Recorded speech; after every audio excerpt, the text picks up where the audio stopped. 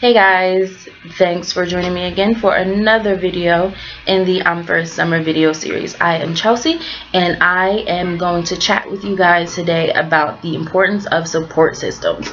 Um, as a first generation student, you're probably thinking, what's a support system or why do I need a support system? And we're going to break that down. Um, why you, what a support system is, you know, why a support system is so important as a first generation student and kind of who can make up your support system. So those are the few things we're going to chat about. So let's get started. So essentially, a support system is a person or people that you can call on for help or assistance or guidance or you know just being able to vent. As a first generation student, the process of you know applying to college and going to college is new for you and for everyone else around you.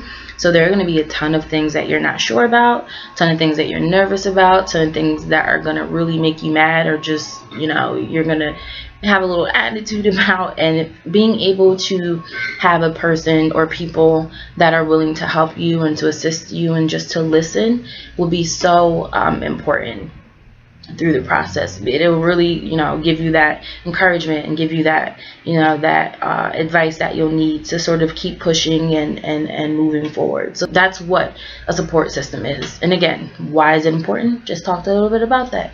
Because first gen students, not that your parents don't care, because your parents definitely do care and your family definitely does care about you going to college and excelling but because they've never been through the process before, it might be a little bit difficult. So say, you know, you are going through the financial aid process and you ask your mom about something.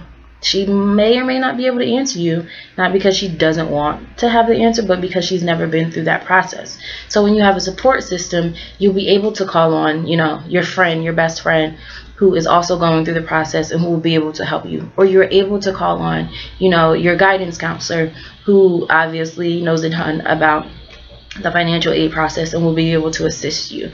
So having these sort of pockets of people here and there is really, really important and not just through um, the college planning and prep and application process, but also once you get to college. It's going to be even more important once you get to college. Um, you'll be away from your family and you'll be you might be even be away from some of those support systems. And because you'll be in a new environment you'll be faced with new challenges and new obstacles that you probably weren't prepared for. But that's a-okay because you do have these support systems. So you know your best friend is just um, a facetime call away or your mentor is just a you know text message or an email away. So again, having these supports are extremely important um, once you're in college as well. Um, and once you get to college, you can even create a support system there. And that leads into sort of the other portion of who can make up your support system.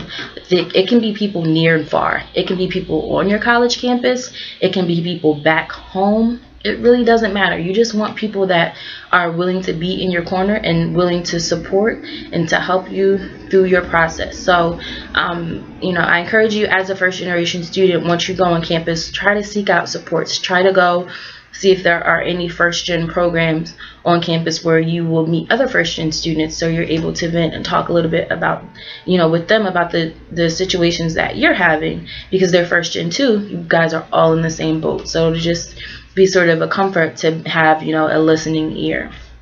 Um, not only on your campus, but again, the supports that you have back home again, they're, they're a phone call or email or text message away. So definitely never feel afraid or never feel like you're being a burden on someone um, and reach out. You know, people, again, your support system is made up of people who want to help you. So definitely uh, don't turn that down that help.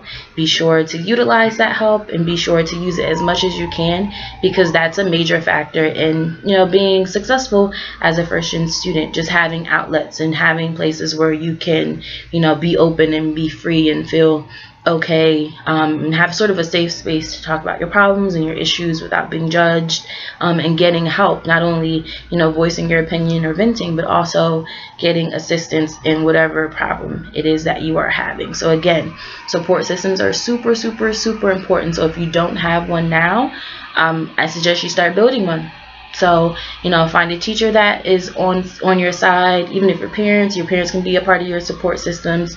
If you have some friends, just find folk that are willing to assist you and are rooting for you to be successful in college. So that is it as we talk about support systems. I'll be on the lookout for another video next week from us. In the meantime, be sure to follow us on all of our social media outlets, Facebook and Twitter and all of that other good stuff. So um, we are checking out, but be sure to come back to our channel next week to watch another edition of our um, first summer video series. Bye-bye.